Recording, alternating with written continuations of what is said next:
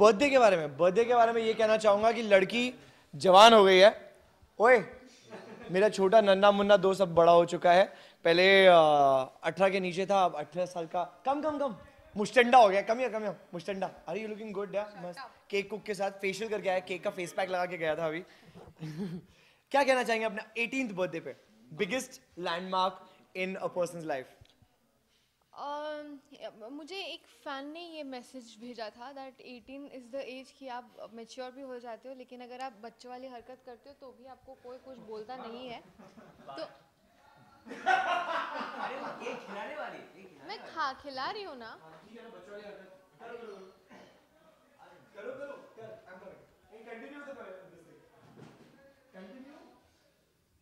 continue